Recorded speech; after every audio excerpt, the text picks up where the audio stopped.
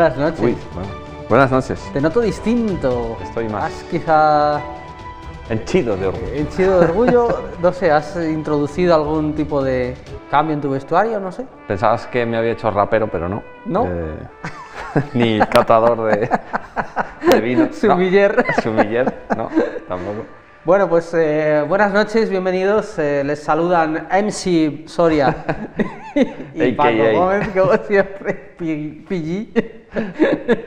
bienvenidos a Que 30 años no es nada, un paréntesis que nos ha regalado la campaña electoral. Eh, y nada, que, que vamos a retomar nuestra buena costumbre de los miércoles por la noche, Eso es. pues echar una- un, un vistacito a lo que ha sido esta ciudad durante los últimos 30 años, que no significa, ¿verdad?, que sea justo la efeméride. Lo repetimos porque al parecer Sí, hay mucho. hay alguien que Despistado. con la calculadora en la mano no le salen las cuentas. AKA imbécil. Bueno, pues eh, luego, bueno, luego hablamos de, de tu cambio de vestuario. de Sí, tus- luego hablamos del porqué de esta gran medalla. No me la quito desde hace 10 o 12 días. Es una medalla muy importante que solo conceden a personalidades que son capaces De llevarla. llevar un producto eh, como el jamón de Guijuelo por el mundo. Ah, bueno. Soy embajador. Embajador, bueno, pensé que solo el que podía llevar El cuello. Fernando Alonso y yo. en la Semana Santa también vas a salir, creo, Sí, en sí. la Hermandad del Perdón. El último, voy a El hacer. último, pues venga. Pidiendo perdón a todo el mundo por todas las fechorías que he cometido en estos 25 años de existencia. Pues nada, motivos la verdad no, no, te, van, no te van a faltar. Te ha- empezamos. Eh, Vale. Vamos a encender la nave del recuerdo con Susana, Paco y María los mandos. Como siempre, vamos a ver. ¿Qué estaba pasando hace 93 años? 93 años. en el año 93, hace 29 años. Pues fíjate, la ciudad se preparaba para disfrutar eh, de uno de los grandes reclamos. Yo creo que eh, de las cosas por las que Salamanca es conocida en todo el mundo y fíjate que no hemos acabado de dar la tecla desde entonces. No. Bueno, eso que hemos visto, lógicamente, es la cuesta de Carvajal. Ahí veíamos como no había cueva, después se puso esa puerta de metálica calada que permite atisbar un poco a su interior, pero en un día que había nevado, por cierto, eh, como podemos ver en las imágenes, pues ese ayuntamiento, eh, bueno, ahí tenemos a Nacho Francia guardando las espaldas a nuestro compañero periodista de Radio Nacional y del diario El País muchos años, y ahí estaban las obras que se estaban llevando a cabo. ¡Ey! ¿Qué es eso? Pues una calavera, ni más ni menos, que apareció ahí porque eh, ese lugar, durante esos años oscuros de abandono de- del casco histórico, eh, que, no hace, tanto. que no hace tanto, eh, el casco histórico era un sitio que a determinadas horas de la noche, cuidado. Sí, era peligroso. Ujú. Bueno, pues, eh, pues hacían espiritismos y tal, porque ese lugar siempre tuvo, Ah. claro, fama de, pues eso, de un sitio mágico. No sabía yo eso. Recordamos que ahí dice la tradición que dio clase, ni más ni menos, en la cripta de San Cebrián, que el mismísimo diablo, al marqués de Villena, eh, la leyenda esta de que perdió la sombra, porque de los siete alumnos que tenía le exigía a uno que se quedara a su servicio, el marqués de Villena le tocó la china esa, pero supo escaparse, el diablo era muy listo, pero no demasiado, y le burló ahí metiéndose en una vasija. Bueno, como consecuencia de eso el hombre perdió la sombra y se quedó sin sombra para siempre. Es una leyenda muy bonita. Eh, la cueva de Salamanca, yo digo, fíjate que en Hispanoamérica a las cuevas se las llama Salamancas por esta, ¿Por esta leyenda? por esta leyenda, sí, sí, sí, porque la cueva era como la cueva por excelencia. Bueno, pues eh, ha estado abierta, cerrada, un poco abandonada a su suerte los eh, restos allí expuestos, sí, no, el tejado sobre la torre del Marqués de Villena precisamente. El gato Eso sobre el tejado Seguramente sea mejorable porque es duralita o tal. Bueno, y así hasta que llegábamos a una de las noticias tristes con la que cerrábamos Uy, el, año pasado, mm, ¿eh? el derrumbe de parte de la cueva de Salamanca, de la zona trasera, de ese patio del eh, colegio de Carvajal, que da nombre, a el pobre Pepe Ledesma, ¿no? pues, que se debió llevar un buen susto. Ya te digo, vio venir las, las piedras. Bueno, pues una evidencia de que eso estaba ahí un poquito pues, de aquella manera. Ahora ya se está desescombrando, se va a desarrollar un, un- por fin un proyecto para ese edificio que ha tenido muy mala suerte. El colegio de Carvajal, incendios, eh, derrumbes, Sí, por lo que sea. por lo que sea, nunca. Y ahí tenemos pues la torre. Y ahí se ve precisamente ese tejadillo que se le puso en aquel momento donde se insistía mucho en que en las restauraciones tenía que quedar muy claro la parte nueva de la parte antigua. Yo creo que no fue muy acertado y quizá, no lo sé, pues ahora que estamos en ello, se podría repensar un poco esa cubrición de una torre mudéjar del siglo XIV, una torre, bueno, pues muy bonita, que queda un poquito enmascarada por las construcciones, Sí, la verdad que sí. por las construcciones anejas. Bueno, pues del ayer al hoy, ¿eh? ahí, aquí tenemos la cueva del Marqués de Salamanca, perdón, la cueva de Salamanca, Del Marqués de Marqués de Villena en la torre y con la imagen de esa célebre escultura de Torres Villarroel que hizo Casillas.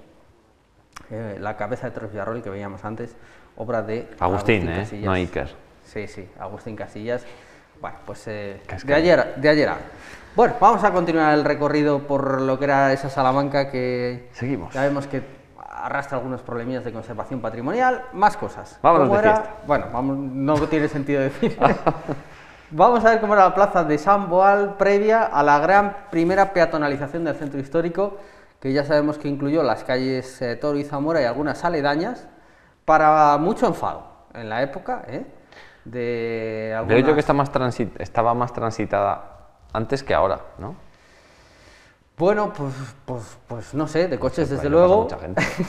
y esto pues según las horas a las que vayas, claro. Ya, claro. Bueno, lógicamente las, las grandes constru- construcciones pues eh, estaban ahí, falta, bueno, pues eh, ya lo vemos, eh, entidades bancarias que estaban y, y ahora no están, algunas otras cosas que, que han cambiado y el centro hispano-japonés yo Sí. creo que se había justo empezado a hacer y faltaba toda la zona esta de, lo- de la sede de la Fundación Caja de Oro. Estaba este centro parroquial de, de San Boal, donde el delegado de patrimonio, Tomás eh, Gil, ha descubierto hace muy poco un bonito retablo barroco que estaba, que estaba oculto.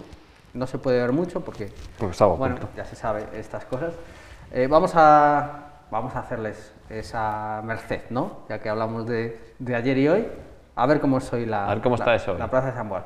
Fíjate. Bueno, la peatonalización. Esto lo hemos cogido, por cierto, De la firma de la firma de libros de Rodrigo Cortés, eh, cuyo libro, bueno, en general cuya obra, en términos absolutos recomendamos, pero bueno, a ver, a esta plaza... mm, Parece más pequeña. Sí, parece, ¿verdad? Eh, la sensación. Por Bien. la noche, Claro, por la mañana es- y por la noche.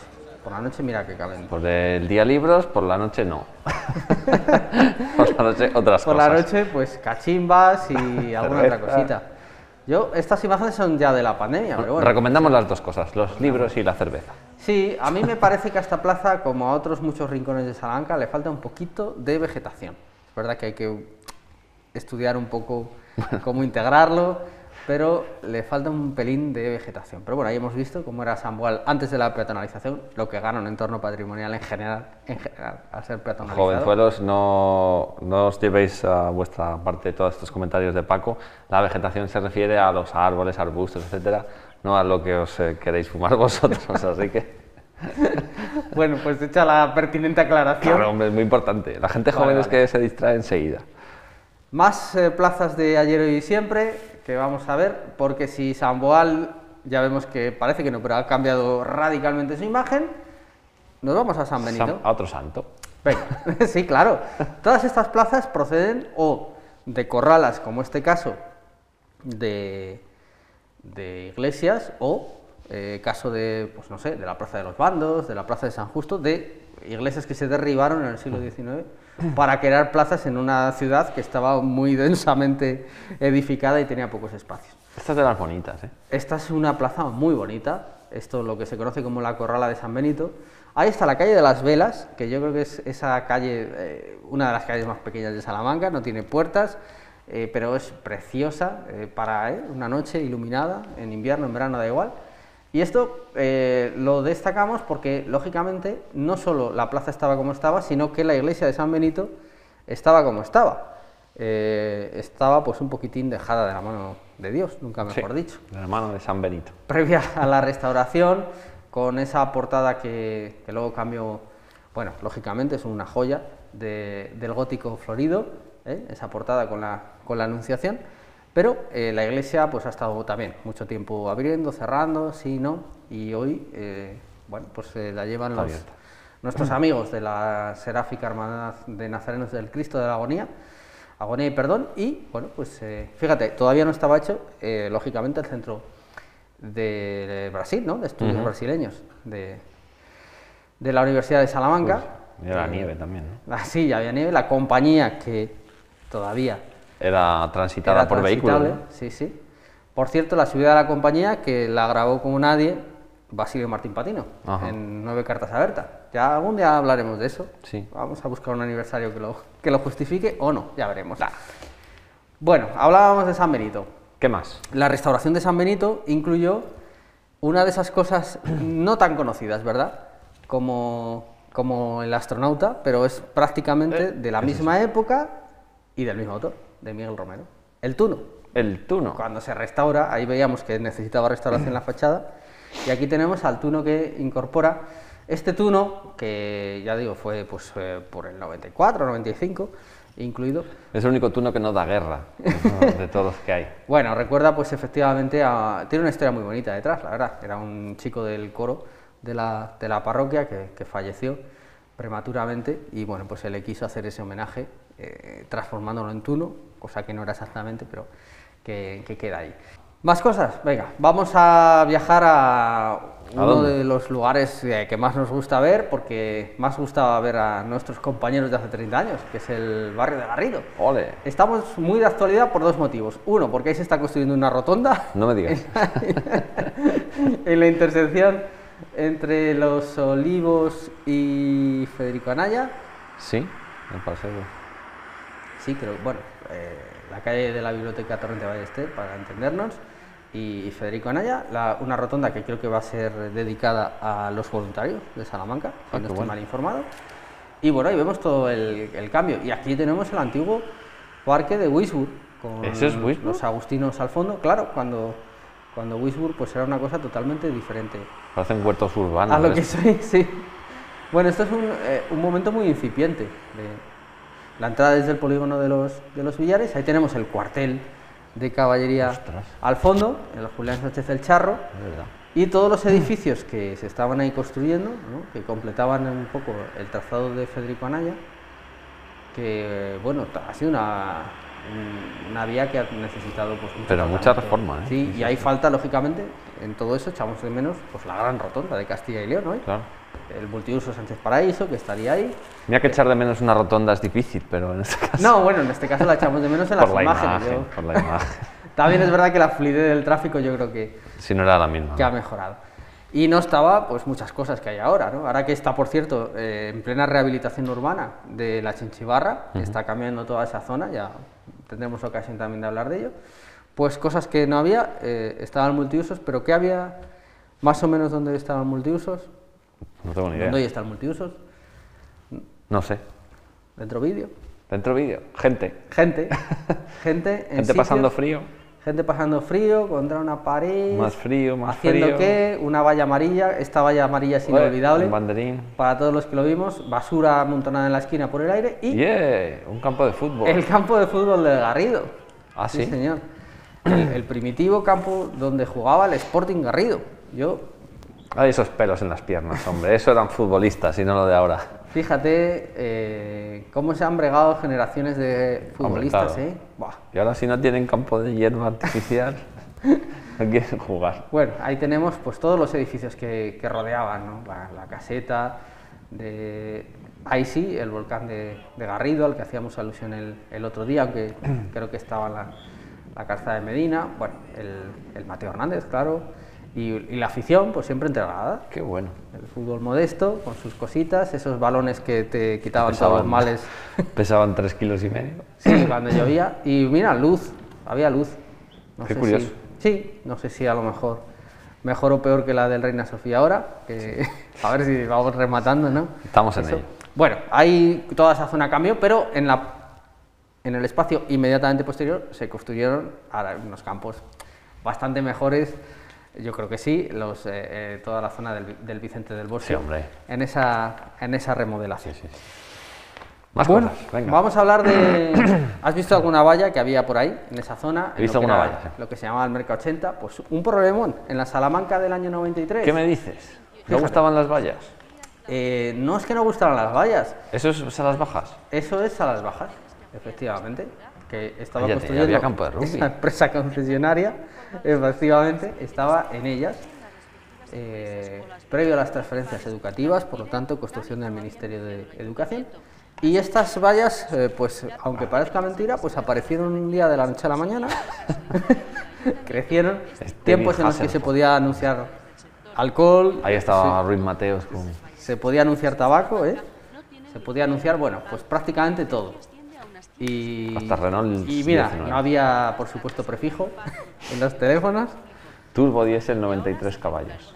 y se llamaba directamente. Bueno, pues estas vallas todas eran ilegales. Había, pero un montón de vallas ilegales que se habían instalado allí. Bueno, que en lo que estaban... En lo que pues, tal, oye, ¿no? Ya hablé con el propietario del terreno. no que dicen, dijo mira nada". esas vallas ilegales y a la vez, pues a claro, la vez, claro. tenías- Bueno, fíjate la salida a Salamanca. Ahí también echamos en falta otra rotonda. es que las que rotondas había poca rotonda. han cambiado la vida. En la rotonda de la charrería, ¿no? Se estaría ahí. Y bueno, eh, mira, el clínico de fondo.